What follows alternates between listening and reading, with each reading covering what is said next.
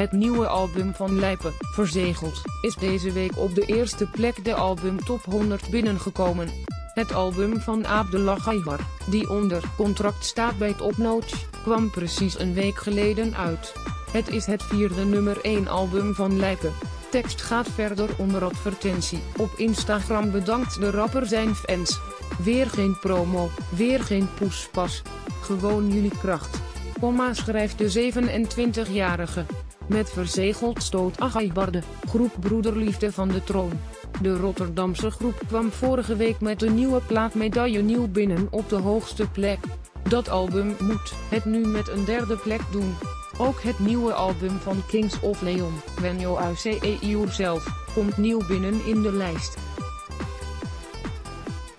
De plaat neemt een tweede plek in op de lijst. Dua Lipa en De Weeknd houden het beiden al een flinke tijd vol in de hitlijst. De albums Future Nostalgia en After Hour staan er respectievelijk al 50 en 51 weken in. Album Top 10 Week 10, notering, tussen haakjes, notering vorige week, artiest, album OBV Album Top 100 samengesteld door GFK Dutch Charts, 1. Lijpen, verzegeld 2, Kings of Leo koppelteken, When You Say Yourself 3. 1. Broederliefde, medaille 4. 3. The Kid Laroi, FC Calaf 5.